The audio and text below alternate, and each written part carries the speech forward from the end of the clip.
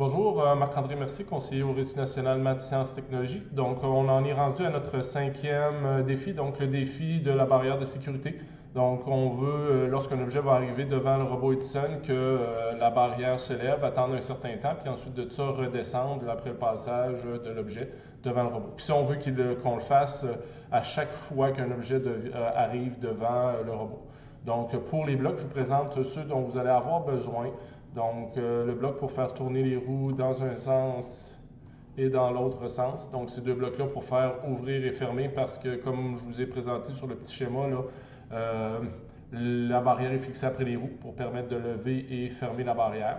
Euh, au niveau du temps, bien, ce sera vous autres à régler le temps pour que ça fasse à peu près un quart de tour. Là. Bien, je vous dis tout de suite, une seconde, c'est beaucoup trop long. Ensuite de ça, au niveau des attentes, on va se mettre un moment d'attente entre le moment où la barrière ouvre et la barrière ferme.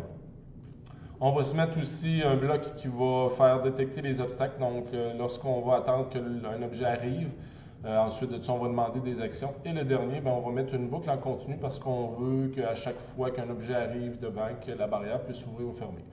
Donc, euh, c'est à vous autres à placer ces blocs-là dans un bon ordre pour être capable d'effectuer. Ce que je vous recommande pour faire vos premiers tests, c'est de avoir votre robot Edison sur un petit bloc ou encore sur la base de, recharge si vous l'avez imprimé. Euh, pas de, recharge, mais la base de téléchargement si vous l'avez imprimé.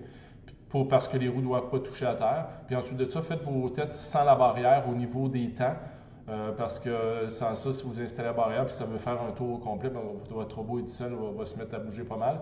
Donc, juste faire vos tests sans barrière, puis ensuite de ça, vous pourrez installer la barrière. Donc, bon défi!